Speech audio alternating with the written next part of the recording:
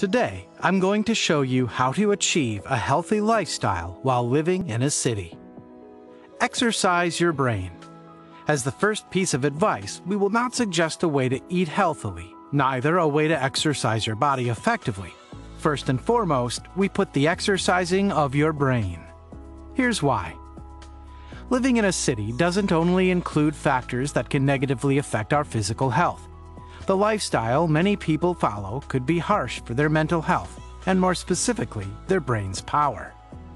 Wake up in the morning, drink some coffee, and get ready for work. Get back from work, meet friends, go home, relax with family, and watch TV. The problem I want to stress with this is that in this routine, there isn't something that challenges your mind. As a consequence, you make your brain slow. It doesn't process new information. It doesn't get new knowledge. It is like an old abandoned car that progressively breaks down. This breakdown for your mind means Alzheimer's disease, dementia, and mental disorders.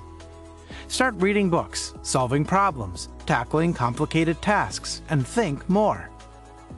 Always prefer the healthy way.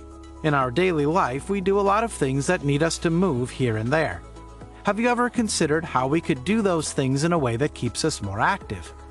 Let's cite two basic examples. How many buildings do you have to mount every day? Maybe the building of your apartment, the edifices of your work, public buildings you might visit, and many others. Imagine taking the stairs in all of these buildings daily. How much distance do you make during a week?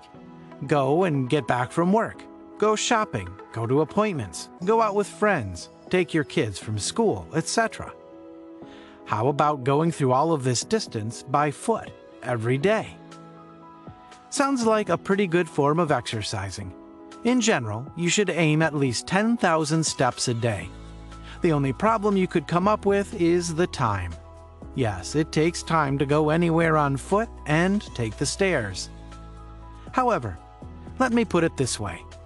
Adults need at least 200 mins of aerobic exercise each week. Not optimal, this is the minimum for keeping our body at a normal healthy level. Instead of this, we suggest you just spend some extra minutes in your daily life for getting this exercise. You don't even get out of your schedule. Do you prefer a 200 min weekly aerobic program? Avoid walking in hectic streets during rush hours. Even if it sounds like a problem and is something difficult to be done, you will change your mind after learning the consequences. On average, people in cities inhale about 2,000 pollution particles a day. 10 minutes of walking next to a busy street, breathing next to all the exhaust gas from cars, will make you inhale up to 3,000 particles only in those 10 minutes. And these particles are frequently linked with asthma, lung cancer, and heart disease. Take your breaks. A walk in a forest, a daily trip to the countryside during the weekend, or an evening walk in a local park is exactly what a city resident needs. This break isn't only for clearing your mind and getting out of hecticness, it is mainly for taking some time to breathe oxygen. Let's be honest, cities are full of gas emissions and polluted air. Despite the parks and trees that exist, the city's environment isn't enough for maintaining a decent health condition. Spend a bit more money on your grocery and fruits. In cities, you know that it is difficult to be sure you eat naturally grown groceries without chemicals. Especially in chain supermarkets, you can never rest assured of their quality. The best way is local grocery shops and local suppliers who grow and sell their own fruits and vegetables. Do they cost more? Probably yes, but it's a no-brainer you should spend this more money to maintain a healthy diet.